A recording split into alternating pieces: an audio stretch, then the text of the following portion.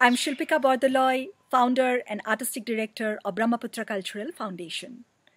Our work is about the community, about education and exchanges through arts and culture. We are bringing out the stories and practices of the indigenous knowledge systems of Assam in India.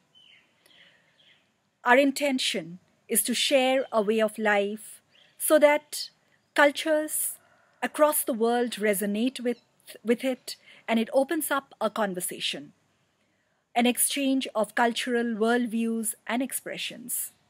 Our attempt is to unearth the stories of our culture and document them because these stories need to be preserved. People of the community and outside need to discover and learn the stories, the diversity of our culture, which unfortunately have got hidden in a standardized model of education system across the world.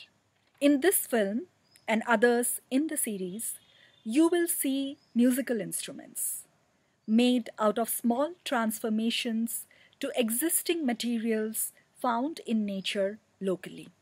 These are timeless, not bound by a consumerist need for fuel, electricity, and commerce. Let's recycle.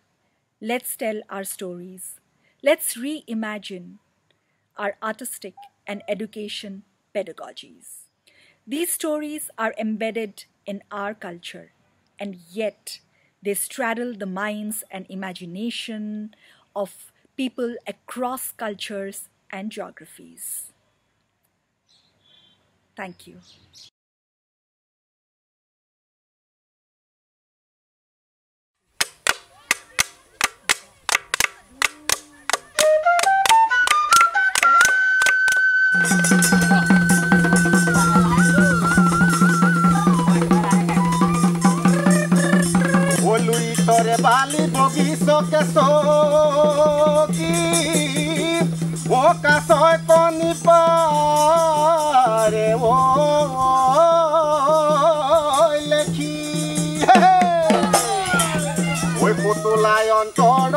সৰিয়হ ফুটিছে বিহুখন দেখি গছৰ তলত বহি থকাটো সতোলা। সি সৰুৰে পৰাই কথা ক'ব নোৱাৰে। কিন্তু সি সমনীয়াৰ লগত হাঁহি ধেমালি খেতিৰ খোলা আনকি সকলোৰে লগত ভাৱ বিনিময় কৰি মনৰ সকলো কথা সি বতৰা দিছে। আনফালে বিহুৰ উন্মাদনাত ঢোলৰ মাত শুনি গছকত যঁতৰ ভাঙি যোৱা বিহুতলীলৈ ঢাপলি মেলা গাভৰুজনীক দেখা পাই বিহুৱাহঁতৰ গাত গুৰুও গোসাই নোহোৱা হৈছে। বিহুৰ জোৰা নামে হৃদয়ৰ ভাৱ প্ৰকাশ কৰি নাচনীৰ কাষ চাপিছে। আনফালে সাতোলাই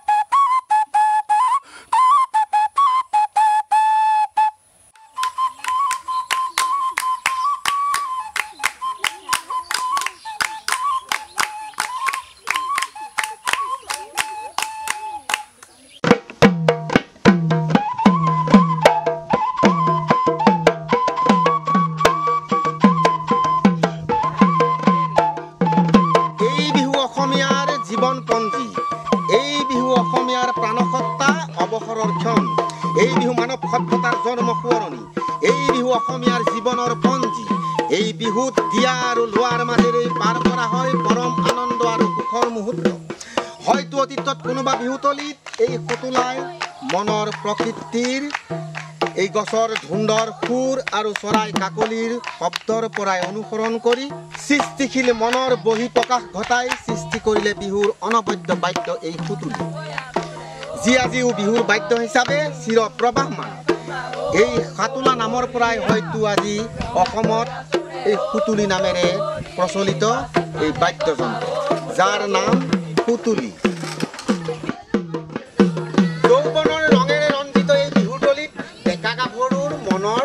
মিলনৰ কেন্দ্ৰ। এই বিহুতলীত আছে শ্ৰদ্ধা আৰু আন্তৰিকতা।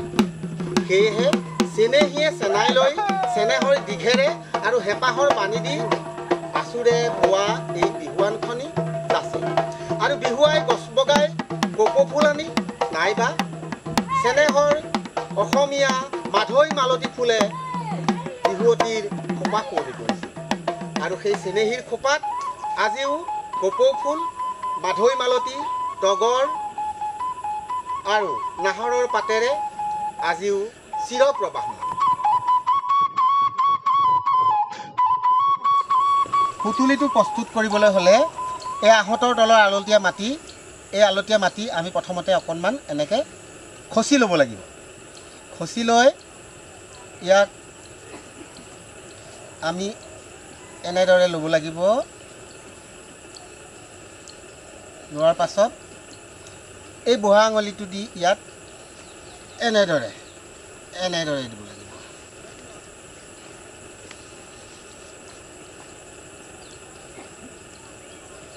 এনেদৰে দি আমি ভিতৰৰ এই ফোপোলা অংশটোত আমি আঙুলিটোৰে হেঁচা দি আঙুলিটোৰে হেঁচা দি আমি এইদৰে ল'লোঁ। লোৱাৰ পিছত আমি আঙুলিটো উলিয়াই দিলোঁ। ইয়াত এটা এপ বিন্ধা হৈ আছে। লাহে লাহে। এইদৰে আমি লৈ আহিলোঁ। এনেদৰে লৈ আহিলোঁ। এই দুটা মূৰ অকণমান আমি ঊৰ্ধমুখী কৰি দিলোঁ। হৈ গ'ল। এতিয়া এই মধ্য অংশত আমি যিয়ত মুখেৰে ফুটি বজাম তাত আমি এনেদৰে এটা ফুটা কৰিম। এই বিন্ধাটো হৈছে আমি এই বিন্ধাটোৱে দিয়ে সুতুলিটো বজাম।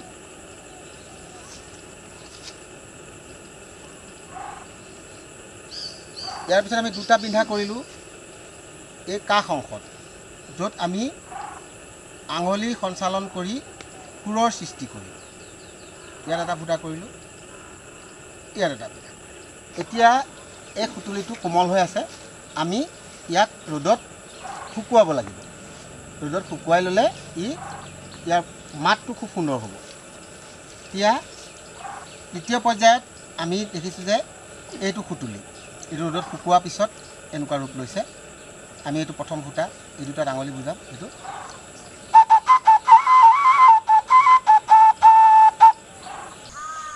সুতুলি চুচি শ্ৰেণীৰ অন্তৰ্ভুক্ত এটি বাদ্যযন্ত্ৰ। এই সুতুলি মুখেৰে ফু দি বজোৱা ফোপোলা এটি সৰু বাদ্যযন্ত্ৰ। এতিয়া আহোঁ ধ্বনি অৰ্থাৎ শব্দৰ তাৰতম্য হোৱাৰ কাৰণ। যেতিয়া সুতুলিটোত দুয়োটা বিন্ধা আমি বন্ধ কৰি থ'ম তেতিয়া ইয়াত বায়ুৰ পৰিমাণ বেছি থাকিব। আৰু আমি যেতিয়া ইয়াৰ এটা বিন্ধা আমি এৰি দিম তেতিয়া বাহিৰলৈ বায়ুখিনি অলপ পৰিমাণৰ ওলাই গ'লে ইয়াৰ মাতটো অকণমান উচ্চ স্বৰ হ'ব। বন্ধ যদি আমি কৰি দিওঁ